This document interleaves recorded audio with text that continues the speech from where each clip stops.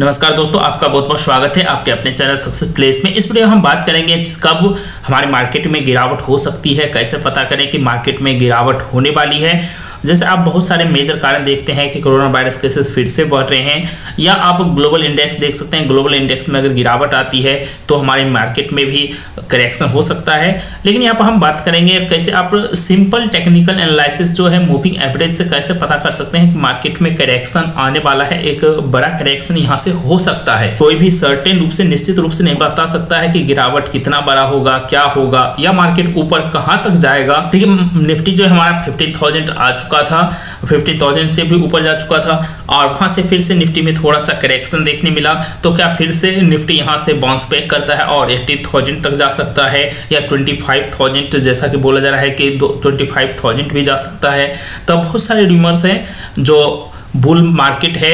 ये bull market एक बहुत बड़ा बुल मार्केट था, एक बहुत बड़ी बुल रैली थी और ये बुल रैली कब ओवर होगा ये कोई नहीं कर सकता, लेकिन टेक्निकल चार्ट के माध्यम से आप आसानी से देख सकते हैं कि बुल मार्केट की रैली कब खत्म होगी। तो उसको सिंपल मूविंग एवरेज से आप जान सकते हैं। यहाँ पर देखिए तो सबसे पहले तो हमने यहाँ पर ट्रेंड लाइन खींचा है। ये इस ट्रेंड लाइन पर कई बार सपोर्ट लिया है। अब तो ये इस ट्रेंड लाइन के ऊपर सपोर्ट लेना शुरू कर दिया मार्केट। यहाँ पर आप देखेंगे, अब जो हम यहाँ से ट्रेंड लाइन खींचते हैं तो देखिए, अब ये ट्रेन लाइन पर सपोर्ट लेने लगा है मार्केट यहाँ से लगभग, देख, एक बार फिर गिरावट आया था, ये इस बीच में यहाँ पर करेक्शन आया था तो यहाँ पर इससे पहले सपोर्ट लिया, यहाँ पर एक थोड़ा सा बड़ा करेक्शन आया तो यहाँ से सपोर्ट लेके मार्केट ऊपर गया। मार्केट इस ट्रेन लाइन को ब्रेक करता है, ये जो नीचे वाला ट्रेन लाइन है तो हम कहेंगे एक मेजर करेक्शन आने वाला है। क्योंकि जो सिंपल मूविंग एवरेज है, जब ये वीकली चार्ट पर 20 मूविंग एवरेज को ब्रेक कर देता है तो हम कहते हैं कि मार्केट में एक बड़ा करेक्शन हो सकता है। कई सारे नियम है, पहले तो स्ट्रेन लाइन को ब्रेक कर दे, या इसका जो लो है, ये जो लो बन रहा है, जो लो बना करके ऊपर गया है, इस लो को ब्रेक करता है वीकली चार्ट पर तो ये मतलब एक बड़ा करेक्शन आने वाला है। इस ट्रेन लाइन को ब्रेक करता है और ये सब मूविंग एवरेज जो 20 डे का मूविंग एवरेज है to T E M A exponential moving average इसके नीचे ट्रेड करना शुरू करता है मार्केट तो एक बड़ा मतलब हम बोल सकते हैं यहाँ से गिरावट हो सकती है मार्केट में। तो प्राइस एक्शन से भी जानेंगे। प्राइस एक्शन में जो पिछला लो है, उसको ब्रेक करे ट्रेन लाइन है, उसको ब्रेक करे और जो मूविंग एवरेज है, उसके अनुसार ब्रेक करे। या आरएसआई के माध्यम से आप समझ सकते हैं, जब आरएसआई हमारा 60 के नीचे आ जाए वीकली चार्ट पर वीकली चार्ट पर 60 के नीचे आ जाए आरएसआई तो समझिए एक बड़ा करेक्शन आने वाला है। वो करेक्शन कितना लंबा जाएगा, ये तो कोई नहीं बता सकता। इस मतलब उसको फिर से हम यही कहेंगे, अगर वो डेली चार्ट पर 20 डे के ई के ऊपर ट्रेड करना शुरू कर देता है तो मतलब डेली ईएमए को तो समझिए वहाँ पर करेक्शन पूरा हो गया। तब मूविंग एवरेज के माध्यम से सिंपल रूप से हम ट्रेंड को समझते हैं कि ट्रेंड हमारा क्या है अप ट्रेंड है या डाउन ट्रेंड है। तो अभी ये जो करेक्शन है, ये एक छोटा मोटा करेक्शन है। इस करेक्शन से कोई बड़ा प्रभाव नहीं पड़ने वाला है। तो अभी ये करेक्शन एक मामूली करेक्शन है, लेकिन यहाँ पर डाइवर्जेंस तो वीकली चार्ट पर दिख रहा है। डाइवर्जेंस का मतलब होता है कि हमारा जो मोमेंटम है, वो मोमेंटम कमज़ोर हो चुका है। जो निफ्टी जिस तेज़ी से ऊपर जा रहा था, वो तेज़ी जो है ऊपर जाने का वो वीक हो चुका है। तो वीक हो गया तो इसका मतलब ये नहीं कि मार्केट ऊपर नहीं जा सकता। अभी भी मार्केट ऊपर जा सकता है, लेकिन अभी जो इसका स्ट्रेंथ है ऊपर जाने का, वो थोड़ा वीक हो चुका है, कमज़ोर हो चुका है। तो यहाँ से हो सकता है ये करेक्शन दिखाए, एक बड़ा गिरावट दिखाए।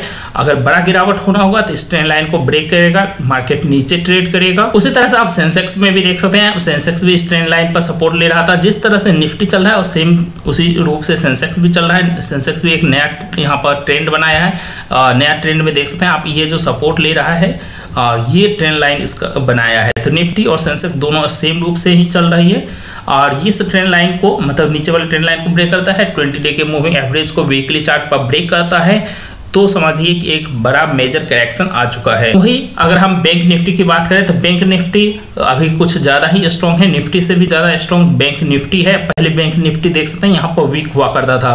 पहले जो यहाँ पर था, अक्टूबर तक मतलब शुरुआत के नवंबर तक, यहाँ तक बैंक निफ्टी वीक था। और नवंबर के से जो है, बैंक निफ्टी काफ़ी स्ट्रांग हो गया और बैंक निफ्टी ही निफ्टी को इतना ऊपर तक ले आया।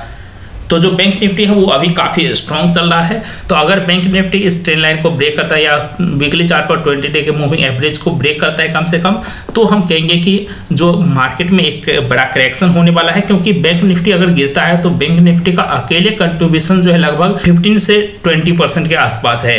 बैंक और फाइनेंशियल सेक्टर दोनों को मिला दे तो ट्वेंटी से अधिक है।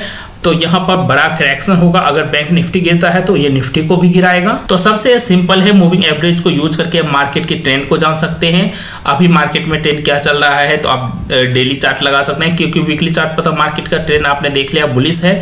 तो यहाँ पर डेली चार्ट लगाएँगे। डेली चार्ट पर देख लीजिए, अभी भी मार्केट हमारा ट्वेंटी डे के मूविंग एवरेज पर सपोर्ट ले रहा है। अगर ये ट्वेंटी डे के मूविंग एवरेज से यहाँ नीचे डेली चार्ट पर मतलब ट्रेड करना शुरू करता है तो हम मानेंगे कि जो ट्रेंड में मतलब गिरावट वाला ट्रेंड है, उसकी शुरुआत हो रही है। लेकिन इसका मतलब ये नहीं हुआ कि अगर ये 20 डे के ईएमआई को ब्रेक कर देता है डेली चार्ट पर तो ये बड़ा करेक्शन होगा या बड़ा गिरावट होगा। बड़ा गिरावट तब होता है जब वीकली चार्ट पर ये 20 डे की मूविंग एवरेज को ब्रेक करे या पिछला जो अपना लो है, उसको ब्रेक करे वीकली चार्ट पर।